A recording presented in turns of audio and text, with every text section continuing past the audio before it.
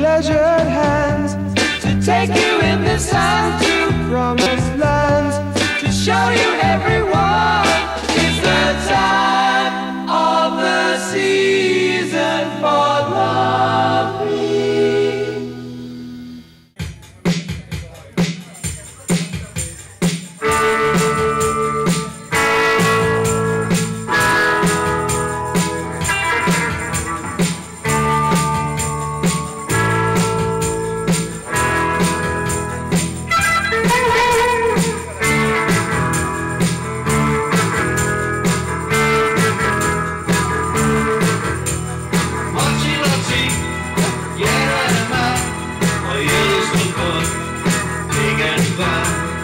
Kovácsevics Sándor, más néven Maci Laci, vagy ha úgy tetszik az arab, basszusgitáros, gitáros, énekes, dalszerző. Játszott a Rivers és az Apollo együttesekben.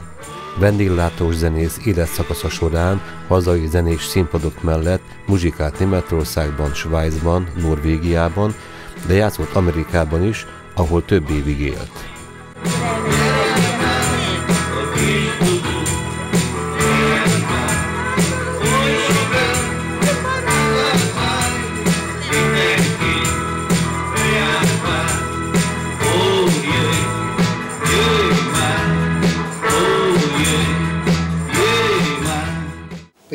Laktunk, amikor általános iskolába a szüleim beirattak a zongorára. A énektanárnőnek a javaslatára tetszett neki, ahogy énekelek az iskolába. És hát az első egy-két év az egész jó volt. Kitűnően végeztem, csak szüleim anyagi helyzete nem engedte meg, hogy vegyenek zongorát. És az iskolába kellett bejárni, gyakorolni. Általános iskolába. Na de hát elég sokan voltunk, úgyhogy kevés idő jutott egy-egy személyre, be volt osztva, hogy ki mikor megy gyakorolni. Úgyhogy aztán a má- a második év vége felé már éreztem, hogy ez nekem nem elég ez a gyakorlási idő, és ne- nem lesz jó eredményem. Úgyhogy otthon elkezdtem javasolni, hogy hát eh, kamudumával, hogy hát a más iskolai tanulmányaimat rosszul befolyásolja, hogy nekem ilyen sokat kell gyakorolni, meg minden, és nem lesz jó az eredmény. Na hát aztán nagy-nagy nehezen odáig jutottunk, hogy beleegyeztek, de hát énektanárnő nem akarta, szüleim se nagyon akarták, de hát annyira erőszakos voltam, hogy kész, nem ment tovább. Na akkor, hát mivel zongorát nem tudtak venni, vettek egy tangó harmonikát. Billentyű, billentyű. Ja. Ja. Na, azt nyúztam egy darabig otthon, és mikor valahogy az utcánkban, nem is tudom már, hogy összejöttem egy illetővel, aki gitározott. És nagyon megtetszett egy ilyen spanyol dolgokat játszott, és ez a új technika nagyon megtetszett, hogy pengette a gitárt az ujjakkal. Na, és akkor mondtam neki, hogy hát mutasson nekem egy pár ilyen dolgot, fogást, meg mindent. De hát akkor még nem volt gitárom. És akkor megdumáltam a szüleimet, hogy vegyenek egy gitárt. Vettek egy dobgitárt, nem volt benne semmi hangosítás. És na hát azt nyistöltem otthon reggeltől estig, amikor csak lehetett. Ja. Úgyhogy Már gondolom a család idegbajt kapott tőlem, de hát sajnos az edész családokban ez van. Na és Mert a szüleid is játszottak hangszeren? nem, senki. Nem? Senki? Senki nem? Ne, a nagyapám, a nagyapám az citerázott. Anyám mondta mindig, és anyám meg szeretett énekelni, de hát ugye rossz anyagi körülmények közt voltak, úgyhogy nekik ilyenre nem volt lehetőség. Na, amikor befejeztem az iskolát Pécsen, akkor elkerültem Pestre ebbe a, a repülőgép szerelőiskolába. Na és akkor ott összejöttünk egy páran így gyerekek, akik játszottunk hangszeren. Hát gyakoroljunk meg, csináljunk valamit. Akkor mondtuk a gyárba, hogyha esetleg támogatnának minket erősítővel, meg minden, csinál, játszanánk a, a parikon, meg mit tudom. Igen, igen. És úgy is lett, adtak erősítőt, hangfalakat, mikrofont, mi vittük a saját hangszereinket, és akkor ilyen vállalati bulikon ott előadtuk a dolgokat. Akkor kezdődött ez a Beatles korszak, főleg Beatles számokat játszottunk, meg eh, egy pár saját számot, mert ott, ott írtam ezt Akkor is te írtál, te. Volt sok, hát az a baj, hogy nekem is feledésbe merült, tudod. Mhm. Na most a probléma ott kezdődött, hogy nekem mind le volt kottázva, meg szöveg minden leírva, de amikor elváltam a feleségemtől a Dunói városba, ezek mind ott maradtak, tudod? Hát sajnos kidobálta. Úgyhogy ez lett a sorsa. De hát aztán közben tudod, én se játszottam ezeket a számokat tovább, mert olyan zenekarban voltunk, hogy külföldön játszottunk, nem játszottuk ezeket a számokat. kellett, igen. Ez nekem is feledésbe merült. Mhm.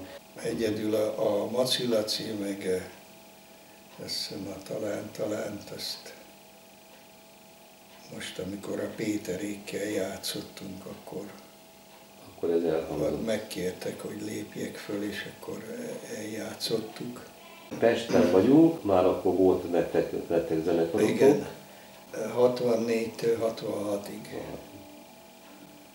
Na most 66-ban az egész iskolát bevonultatták katonának három hónapra, és arról volt szó, hogy mindenki megy vissza a hadüzembe, Mhm. és akkor ott dolgozunk.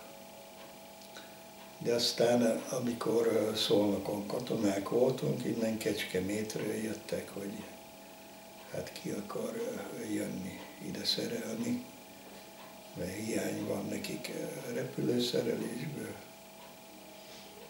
és jobb ö, anyagi körülményeket biztosítottak, meg ígértek lakást is.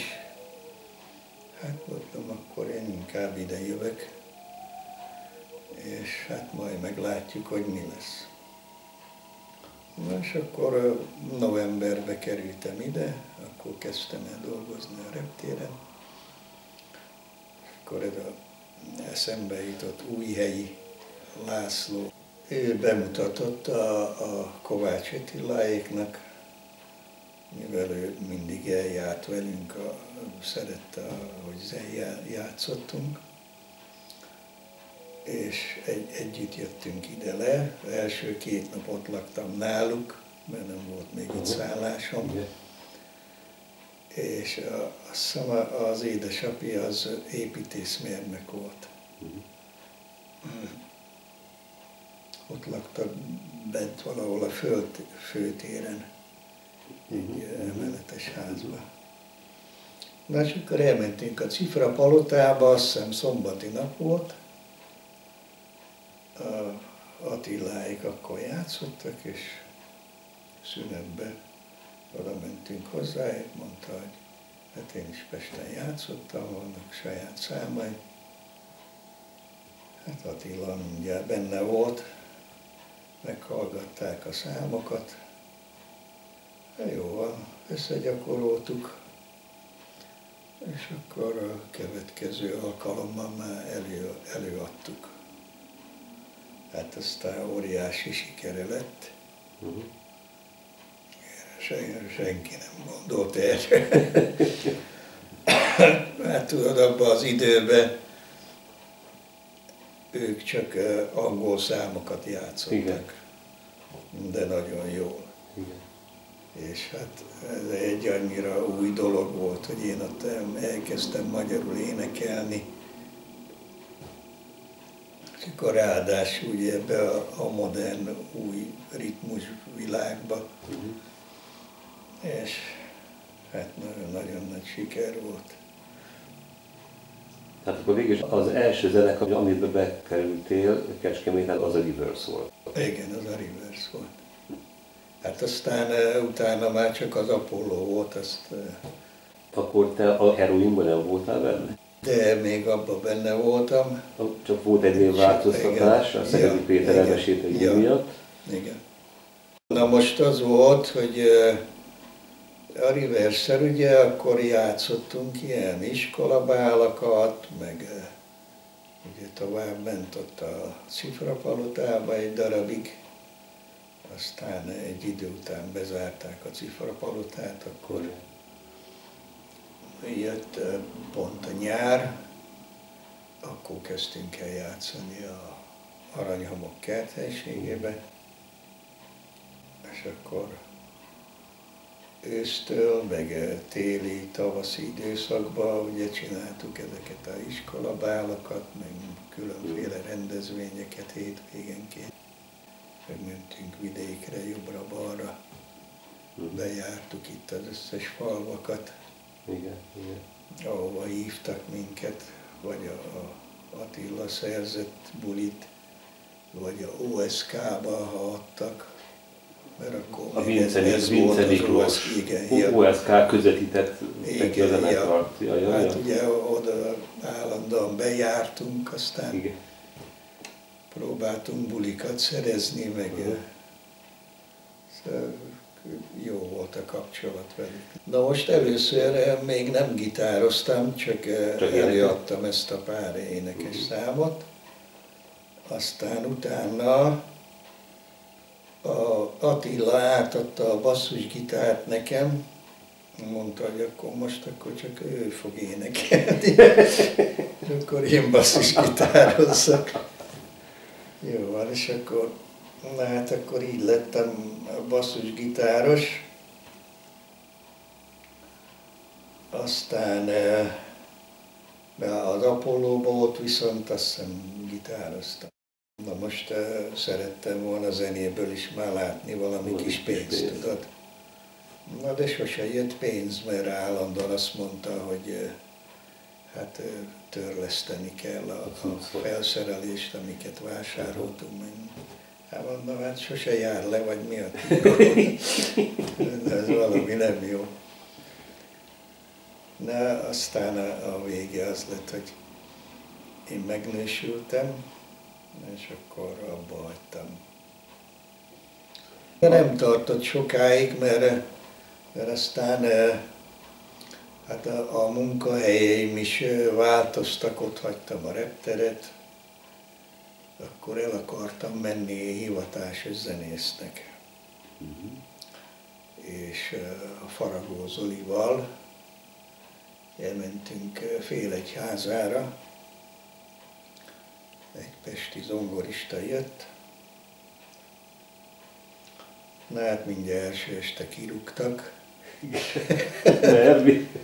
Hát én egyáltalán nem ismertem ezt a vendéglátó zenét, úgyhogy hát az zongorista elkezdte játszani a dolgokat, én meg csak néztem minden moziban.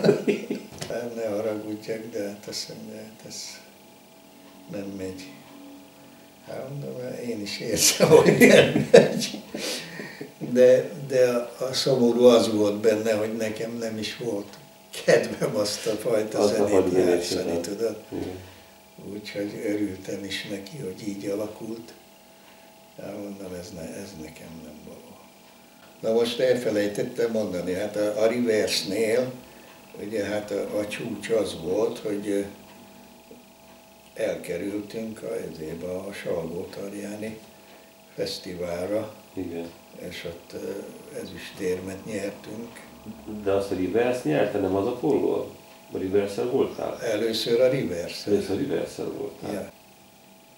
Na most másodszor meg az Apollóval, és viszont volt egy hatalmas nagy kudarcom, az itt Kecskeméten a színházba, aki mit tud, amikor volt. Uh-huh. Hát én hülye, akkor már az Apollóba játszottam, de az Apolló nem jutott be, viszont a Rivers bejutott. Na most beszéltem velük, hogy hát kísérjenek, én meg majd énekelek. És ahelyett, hogy a, a saját számaimat adtam volna elő, valami Tom Jones számot akartam elénekelni, a Green Green Grasshoppon. De hát a Haskó Imivel elmentünk, bepálinkáztunk. Mire kezdődött a, az előadás, hát szépen beálltunk, kimentem a színpadra, hát azt hittem elájulok a, a sok reflektor, meg minden, nem láttam semmit, szakadt róla a víz, a hőségtől, és valami penetrális, nem tudom mit adtunk elő, de talán egy perc után már zúgott a, a csengő, meg a piros lámpa. Hogy hogy abba. hagyjuk abba, mert ez, ez rettenet. Igen, lehet, hogy a saját volt kellett volna valami Hát az kellett volna persze, mert hát az ugye tudtuk, be volt gyakorolva, Igen, ez meg nem volt Ez összegyakorolva, érted? igen. Akkor nekem is a, ugye a, az angol szöveg nem volt helyes, Igen. úgyhogy egy rettentő nagy égés volt. A közönség teljesen le volt döbbenve, hogy, hogy ez most mi volt. Szóval az Apollo is szépen ment, egyre jobban, hát ugye először mint heroin, egy, egyre jobban, na és akkor hát ugye velük is a csúcs az volt, hogy elkerültünk a Salgótarjáni buliba, velük is azt hiszem ezüstérmet nyertünk. Mhm. De hogy végül is melyik számmal jutottunk ezüstéremre, azt, azt nem Azt emlékszem már rá. De mindenhol játszottuk a saját számaimat. Ó, mondd csak drágám, volt egy ilyen nevű számom is. De aztán volt még több, de azoknak nem volt olyan nagy sikerük. Hát tudod, hát minden szám nem jön be. Persze, nyilván. Hiába nyilván. tetszik neked, Igen, eh, igen. az közönség az, az dönti el, hogy végül is mi az, ami tetszik nekik. Amikor elváltam, akkor megint abba hagytam. És akkor dolgoztam a, a Honvéd kórházba, ott voltam elhelyezési szolgálatvezető, egy pár évig, és nem is tudom, a, a Kovács Guci azt mondja, hogy nem, nem akarok zenélni. Mert a Várkonyi volt egy zenekara, ők valahol más városokban játszottak, és visszajött Kecskemétre. Avval a zenekarral, amelyikkel Dunaújvárosban játszottak, itt játszottak egy darabig, de aztán fölbomlott a zenekar. És most akar egy új zenekart csinálni. Mondom, de hogy nem. Akkor összegyakoroltunk. Volt a Várkonyi, a felesége, Márti, ugye Márti? igen, a van? Mártia, a Buci meg én. Na és akkor így elmentünk ö, 74. január 1-től Dunaújvárosba. Így kerültem el Kecskemétről. Na aztán attól kezdve nem is tértem vissza, Igen. mert ott voltunk másfél évig Dunaújvárosba. Onnan elkerültem Vár, Várpalotára, Veszprémbe. Az volt egy, egy-két, két-három év. Onnan elkerültem Kiskörösre. Kiskörösön voltunk talán másfél évet, igen. Előtte úgy volt, hogy majd a Gucival Lajos Mizsén fogunk játszani, de aztán végül is a Guci visszamondta, és akkor így lett belőle kiskörös, de akkor már nem a Guci jött, hanem egy eh, Dunaújvárosi dobos volt, meg egy eh, először egy Dunaújvárosi zongorista, amikor az elment, akkor egy pesti zongorista jött. Na most addigra én is, ja, hogy hogy jött nekem ez a, a külföldi zenélésre az ihlet, amikor az aranyhomokban játszottunk, kerthelységben, de láttam minden este két szép autó áll a, a aranyhomoknál. Hát először ugye az ember azt hitte, hogy valami külföldiek. De hát amikor már hónap után is ott állt az autó, akkor ez már nem lehet az. Megkérdeztük a portán, ki az autó. Mondták, hát a két bárzenészi. Micsoda? Na, hát akkor menjünk be a bárba, ezekkel beszélni kell.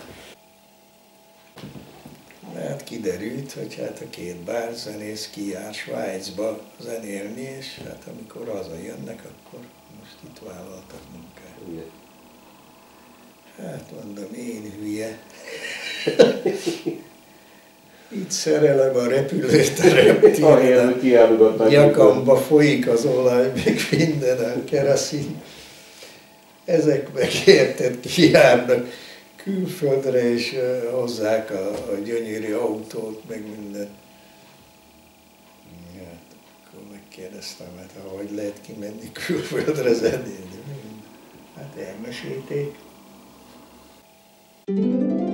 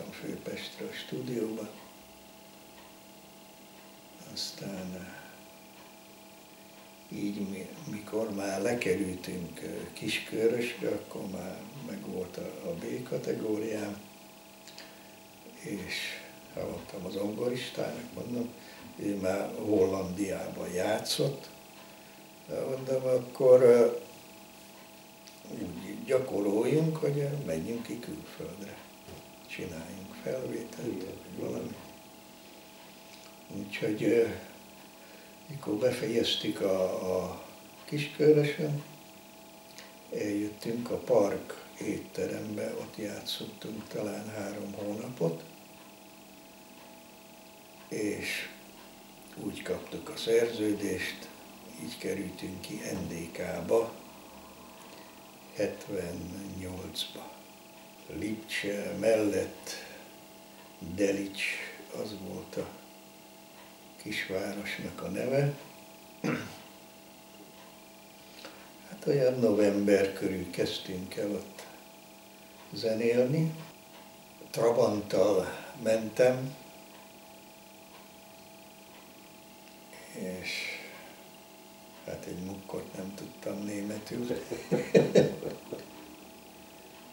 Azt hiszem a, a dobos az, ezért volt Dunai városi srác, ja, ő se tudott, ketten mentünk a Trabanttal, a zongorista az meg Pestről ment el. Ott Delicsbe találkoztunk, megérkeztünk, megkaptuk a, az első kaját, hát nem tudtam megenni. Igen. Olyan furcsa volt a, a német kaja. Na mondom, ebből baj lesz. De részben örültem is neki, mert kiskörösen elhíztam nagyon. Ott nagyon jó kaják voltak, és ész nélkül játszottunk, mert este játszottunk az étterembe, mikor ott befejeztük, akkor átköltöztünk a bárba, csak egy ajtón kellett keresztül menni, és akkor reggel négyig meg játszottunk a, a bárba. Úgyhogy dupla műszak, dupla fizetés, hatalmas lóvé volt, mert nagyon jó volt a, a gázsink is. Igen. Úgyhogy eh, abból tudtam venni a Trabantot, meg befizetni a lakásra a Dunói városba. Előtte ugye azon gondolkodtam, hogy hogy fogom összeguberálni a lakásra a befizetési összeget, 20 valahány ezer forintot. De hát aztán, amikor jött ez a kiskörösi szerződés, hát itt megömlött a pénz. Ráadásul, hát mellékest is nagyon jó kerestünk, mert Soltvat kertről átjártak a gazdag gyerekek. Hát azok megimádták, amit játszottunk, úgyhogy eszméletlenül fizettek, ittunk ész nélkül. Az a másfél év, hát az, az csuda volt.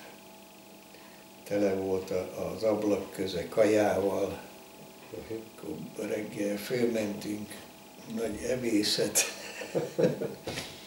De a lényeg az, hogy elhíztam. Már azon gondolkodtam, hogy kell venni valami sportruhát, kijárni a, a foci pályára, szaladni, vagy valamit csinálni, mert hát ez, ez ebből baj lesz. Na hát ezt mind megoldotta az NDK. Igen, igen. Ott három hónap alatt úgy lefogytam, nem kellett se szaladni, semmit se csinálni. Olyan rossz kaja volt, hogy rettenet. Na, ez viszont arra jó volt, hogy megtanultam főzni. Ja, igen. Igen. mert rákényszerültem előbb-utóbb, mondom, valamit most már enni kell, valami normális kaját. Úgyhogy egyedül csak az volt a probléma, hogy csak hétvégén lehetett húst kapni, akkor is sorba kellett állni, aztán vagy kaptál, vagy nem, ha rád került a sor.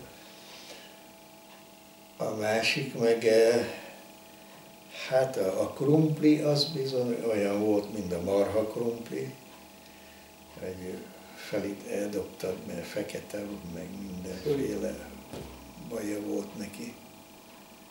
Szóval az őtségeknek más íze volt, mint az itthoninak. Hát az egy, egy nagy csapás volt, de hát nagy nehezen hozzászokott az ember.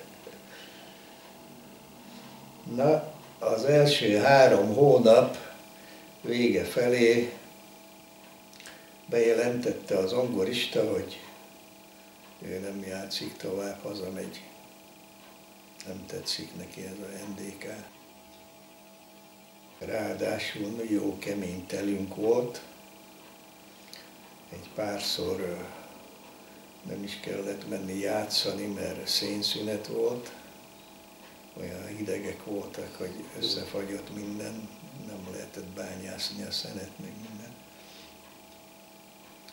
Most Lipcsébe megjátszott egy másik magyar zenekar, onnan meg a dobos ment haza. Ugyanúgy, ősszel, vagyis télire. Na és egyik este, amikor mi játszottunk, ezek megjelentek ott nálunk, és szünetbe előadták, hogy miről van szó. Hát azért jöttek meghallgatni minket, mert hát őtőlük elmegy a dobos, és dobos keresnek. Úgyhogy tudták, hogy az ongorista hazamegy, akkor el akarták vinni a dobost. De hát aztán uh, megtetszett nekik, ahogy játszottunk, úgyhogy akkor nem csak a dobost vitték, hanem engem is. Igen. Akkor úgyhogy a két zenekar így összeállt, a másik két ember külön elment haza, és elkezdtünk Lipcsébe játszani. Volt egy fél éves szerződésünk. Na most ezek a gyerekek, ezek nyugatról jöttek haza, és tudod, két évet lehetett nyugaton Igen. játszani, egy Igen. évet kellett itthon, Igen. de nem volt muszáj Magyarországon játszani, csak a szocialista blokkban egy év. Úgyhogy hát úgy megkelték ki, hogy nem Magyarországra jöttek vissza, hanem NDK-ba. És akkor eh, nyárra letelt nekik az egy év, úgyhogy eh, őszre már intézte a nyugatnémet szerződést, mert ő neki voltak kapcsolatai, Igen. úgyhogy eh, ősztől mentünk ki Dortmundba. Ott kezdtünk játszani, és akkor volt egy két éves turné NSK-ba. Hát ott ö, rengeteg városba voltunk, Dortmund, Düsseldorf, Essen, Bremerhaven, Bremen, voltunk a Bodeni, Bodeni tónál. Szóval Ezek a városok közt össze-vissza utaztunk, általában egy, egy-két hónapot voltunk egy helyen. Na és akkor lejárt a, a két év, akkor ugyanez a trükk ment, hogy NDK-ba mentünk, nem Magyarországra. Vissza Lipcsébe, ugyanoda, ahol játszottunk. Igen ám, de arra ébredt, ja, mert uh, Kempingbe laktunk. mindjárt mindegyünk hozott egy lakókocsit, és a Lipcsei kempingbe mentünk lakni. Egyik reggel arra ébredünk, hogy eltűnt a dobos Ha. Elmúlt Lipcsébe. A Lipcsébe. Visszament NSK-ba. Mert ő összejött egy nővel, és hát tudtunk nék, megbeszélték, hogy hát akkor diszidál, és lelépett. Csak ott állt, most mi, mi a túlot csináljuk. Hát még jó, hogy volt dobgép. Ja, igen, már akkor volt, hogy Ja. igen. Úgyhogy aztán hát így dobgéppel ment, ahova játszottuk le a visszamaradt hónapokat. Hárman. Na és akkor eljöttünk Magyarországra, és akkor a basszusgitáros is, a, a, ő hegedült is. Ő befejezte a bulit, mondta, hogy kiszáll a zenekarból. Maradtunk ketten az ongoristával.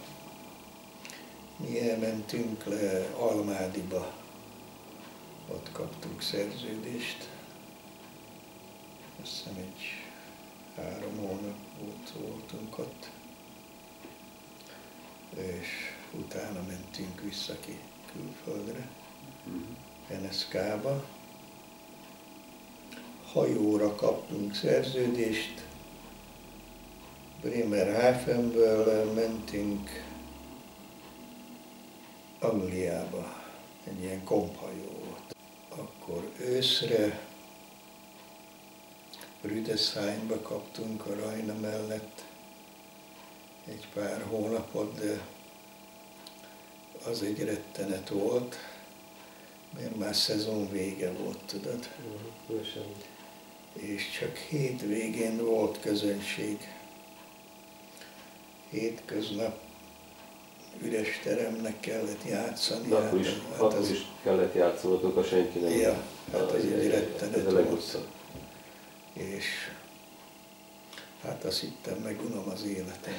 Ez, ez egy borzalom volt. Ráadásul érted, azt mondta a főnök, mert ilyen se volt sehol. Olyan hangosan játszunk, ahogy csak tudunk. Hogy. Bejöjjenek. Ja. Na de hát jóformán minden épület, étterem volt érted egymás mellett Igen. egymás hegyi hátán voltak. Na mindegy, úgyhogy már a, a hónapnak az utolsó felit már nem is kellett lejátszani. Annyira nem volt, Nem senki, volt közönség, hogy azt mondta a főnök, el menjünk haza. Mhm. Na és akkor intézte a srác, állandóan nyúztam, hogy szerezzem már vagy Amerikába, vagy Svájcba. Na és akkor nagy nehezen kaptunk Svájcba. Ott, ott játszottunk egy-két hónapot, aztán kaptunk egy szerződést a, a francia Svájcba. Na, az megint egy csuda világ volt. Ránk szóltak, hogy hát ne csak németül, meg angolul énekeljünk, hanem nyomjunk már valami franciát, Franciát is. is. Na de hát egyikünk se tudott semmi franciát. Úgyhogy hát végigjátszottuk, de hát nem, nem volt valami nagy siker. De így hétvégeken meg bejártuk a környéket, meg lementünk Lozánba, és összejártuk Svájcot. De utána visszamentünk, Zürich közelébe ott kaptunk. Na ott viszont hatalmas siker volt, mert az meg a német Svájc volt, úgyhogy ott nagyon tetszett a zenénk. Az első az meg inkább olasz-svájc volt. Ott nagyon jó fizetést kaptunk, és ez, ez fönn volt a, a magas hegyekbe. fent 1800 méteren laktunk. Na, nagyon gyönyörű hely volt. A, a pláne az volt, képzeld el, hogy a srácnak volt egy ilyen Ford Transit busza, és húzott egy nagy lakókocsit. Ő általában a lakókocsiban lakott. Én akkor nem vittem az én autómat, meg a lakókocsimat. Úgy voltunk vele, hogy elég nekünk egy autó, meg általában szállást kaptunk mindenhol.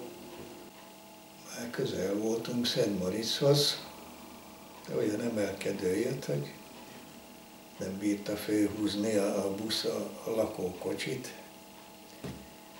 Elkezdett visszafelé csúszni az egész szerelvény. Én gyorsan kiugrottam a, a kocsiból, próbáltam tolni, de hát nem sok sikerrel. Annyit sikerült, érted, hogy az út szélére kitoltuk, és ott megfogta a, a korlát, de aztán le is állítottuk, mert egyszerűen nem tudta húzni a kocsi.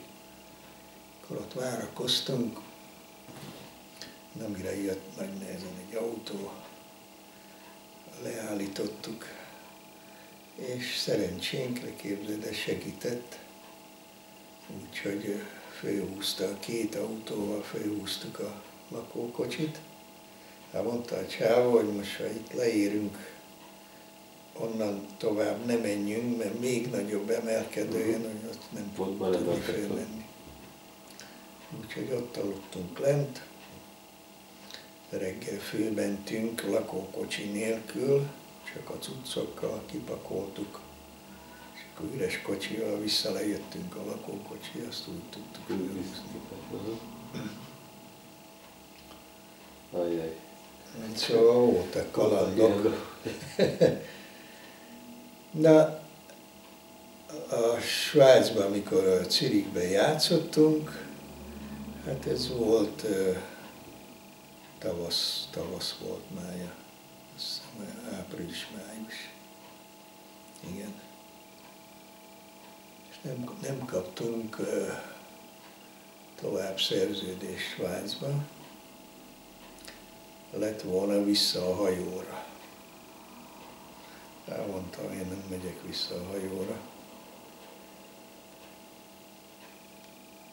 A lányom az meg nyár, vagyis ősztől már iskolás korú lett volna, mert a, család az kim volt velem, én cipeltem őket mindenhol.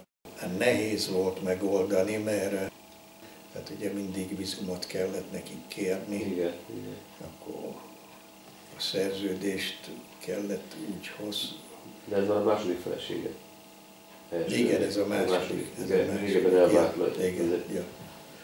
Az első feleségem az Kecskeméti volt, itt maradt a gyerekkel, Igen.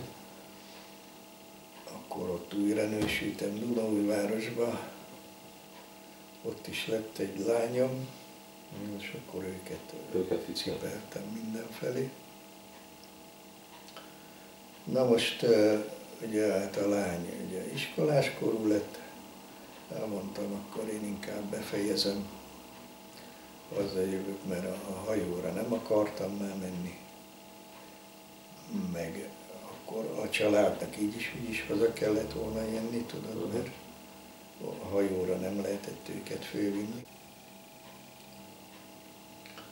És a srácnak viszont ott Svájcba sikerült szereznie saját magának, mint szólózongorista, egy magyar étterembe helyet. Úgyhogy így akkor megoldódott mind a kettőnknek a problémája. Ő ott maradt Svájcba, azóta is ott van, Hm. én meg hazamentem. És akkor Dunaúj városba ott kaptunk lakást, oda mentünk vissza. Hát én akkor befejeztem a zenét, nyitottam ott egy kis üzletet, és azt kezdtem el csinálni. Aztán megromlott a kapcsolatunk, és akkor azt mondta, hogy akkor visszazenélni. De még ott Dunóvárosban összejött egy zenekar, nagyon jó banda jött össze. Na mindegy, ott játszottunk egy évet, nagyon jó banda volt. Nem is tudom miért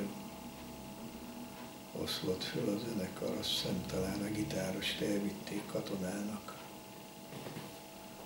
Ja, és akkor én összeálltam avval a zongoristával, akivel Várpalotán játszottam. Ő kijárt Norvégiába. És akkor elmentünk ki Norvégiába játszani. Ott is dolgoztál Norvégiában? Igen. Aha. Úgyhogy hát bejártuk Norvégiát, nem mint ö, ö, zenészhelyek, hanem kirándulva, mert hát volt két szabad napunk minden héten, és előfordult, hogy kaptunk plusz szabad napot, mert nem volt a szállodában sok vendég, és a tulaj azt mondta, hogy nyugodtan menjünk kirándulni. Ben voltunk a hegyekbe, nem messze a tengerparttól, végigjártuk a tengerpartot le, mert ennek a srácnak volt valami haverja, aki ott lakott Norvégiába, elmentünk meglátogatni azt is. Ott volt neki háza, ott lakott már nagyon régóta közvetlen a tengerparton volt a, a ház, amit kaptunk, egy faház elektromos fűtéssel. Pár méterre volt csak a víz. Igen. Minden nap oda kiültem a sziklákra. Az öböl gyönyörű, zöld, fű, alacsony hegyek, szembe, ott meg a magas hegy, Igen. havas csúccsal. Igen. Hát az eszméletlen gyönyörű látvány. Igen. És gyalog jártunk be dolgozni, nem messze volt, nem egész egy kilométerre volt az szálloda, ahol játszottunk. De hát eszméletlen gyönyörű. A másik eh, hely, meg eh, hát az meg fenn volt a hegyekbe, az meg annyira magasan volt, érted, és már a- növényzet is alig volt, ezek a nagyon alacsony fák voltak, csak nyírfa, vagy nem tudom milyen fa. Jóformán a mader se járt arra. Egy pár családi háza a domboldalba, meg ez a szálloda, érted? Igen. nagyon jó főnök volt, mert egész nap ezért volt buffé, azt tettél, ittál, amit akartál, Igen. tehát az ott királyok voltunk. Akkor használhattuk a, a szállodának a sport dolgait, elmentünk síelni, szánkózni. Akkor a, a másik hotelban meg fedett medence volt, ott meg fürödni lehetett egész nap. Na- Nagyon klassz volt. És mondom, hát rengeteg sok szabadidő volt, mert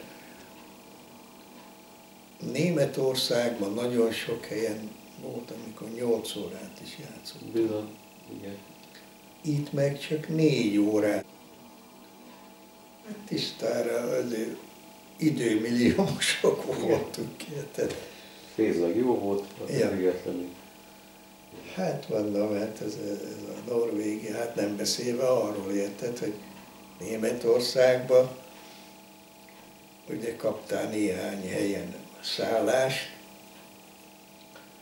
Na de én, mint családdal voltam, én nekem már saját magam kellett megoldani a szállást, azért vettem a lakókocsit, és akkor aztán abban laktunk, érted, csak az áramot szedtem. kaptuk a lakást, de ahhoz képest, tehát az ön Norvégiát, ott, királyok voltunk. Az ellátástól kezdve, meg a szállás, amit kaptál, hát ez nagyon remek volt. De amikor uh, itt voltam uh, Norvégiában, akkor már a második házasságom is már trapára ment, és már végül is azért mentem vissza játszani, de amikor láttam már, hogy itt ebből nem lesz jó vége, akkor közben én összeismerkedtem egy nővel a Dunói városba, akinek az anyja angol volt. A lánynak az apja még 56-ba diszidált Angliába. Ott ismerkedett meg a feleségével. De visszaköltöztek Magyarországra, és hát ennek a lányával jöttem össze. Megbeszéltük, hogy kimegyünk Angliába, és akkor a rokonok lévén megpróbáljuk megszerezni az ottani állampolgárságot.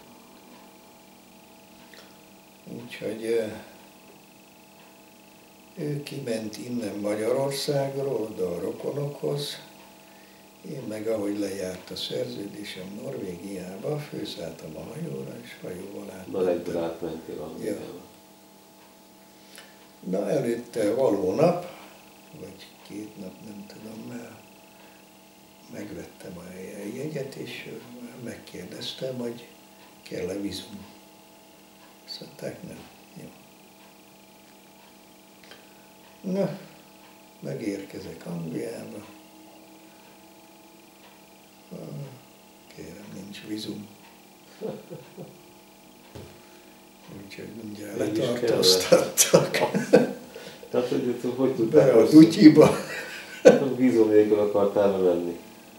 Hát mondtam nekik, hát kérem, én megkérdeztem, azt mondták, magyarnak nem kell vízum. Vissza kellett jönni. Azt minden. Beraktak a, a dutyiba, de közben jött az immigration ugye annak előadtam a dolgot, hogy mit ak- minek jöttem én ide, mondtam, hogy hát a, a nőm az már ott van a rokonoknál, meg minden. Úgyhogy megkeresték, fölhívták. Hát amikor a rokonok megtudták, hogy én a emigration letartóztatott, beszéltem a lánya a telefonon, mondta, hogy hát nem vállalják, hogy foglal, befogadnak minket. De hát megkérdezték, eh, hogy eh, most mit akarok? Itt akarok-e maradni, vagy, vagy mit akarok? Hát nem, hát mondta, hogy akkor hazamegy. És én hülye, ha akkor azt mondtam volna, hogy ott akarok maradni, akkor én ott maradtam volna. Mert vízum nélkül mentem be az országba. Mert ha vízummal mész, akkor nem maradhatsz ott, érted? Ja, értem. Tehát így menekültek számoltam. Ja, Na de ezt én se tudtam, és ugye én hülye azt mondta, hát persze, hát akkor hazamegyek. Na, fölraktak a hajóra, még fele utol se vagyunk a hajóval, kapitány hivat, fizessem ki a hajóutat. Hát mondom neki, de hogy fizetem? Hát mondom, a ti hibátok volt, hogy áthoztatok, Igen, akkor vigyetek is vissza. pontosan. Na de azt mondta, hogy hát ő visszavisz, csak nem tud partra rakni, mert már lejárt a norvég vízumom is. Hát mondom, akkor most mi lesz? Hát azt mondja, ő nem tudja. Na akkor mondom, hívjuk fel a, a magyar követséget Norvégiába. Hát ez ugye megkérdezi most, hogy én mit akarok. Magyarországra menni, vagy ott maradni Norvégiába? Mhm. Hát mondom Magyarországra menni. Mert akkor most maradhatta volna Norvégiába is. Ja, azt nagyon. De Kétszer is igen. De nem mindegy, mert hát a nővel így volt megbeszélve, Igen. hogy visszamegyünk meg találkozunk, aztán majd kitalálunk valamit. És hazajöttél? Na úgy, hogy aztán azt mondta, elintézett egy 24 órás vizumot, úgyhogy azonnal a vonatra kell szállnom és elhagyni Norvégiát. És akkor hazamentem, Pesten találkoztunk, onnan elmentünk le Pécsre a szüleimhez, meg a öcsémékhez, mert azt elfelejtettem mondani, hogy közben én már ugye tudtam ezt, hogy nem akarok visszajönni Magyarországra, és elbúcsúztam mindenkitől, Uh-huh. egy norvég szerződés után eh, goodbye. Na és nagy meglepetés volt, amikor beállítottuk érted, hogy hát most mi történt. Megvettem Amerika Egyesült Államok, Kanada, Ausztrália utazási könyveket, és gyorsan átlapoztam, hogy melyik milyen, hogy, mint, milyen körülmények vannak. Hát, Kanada tetszett, meg Ausztrália. De amikor előadtam apámnak, hogy miről van szó, azt mondta, USA. Az a, az a lehetőségek hazája, oda menjek meg. Hát majdnem minden ismerőse oda ment. Volt Kanadába is, de szóval ott, ott jobb. Na a lényeg az, hogy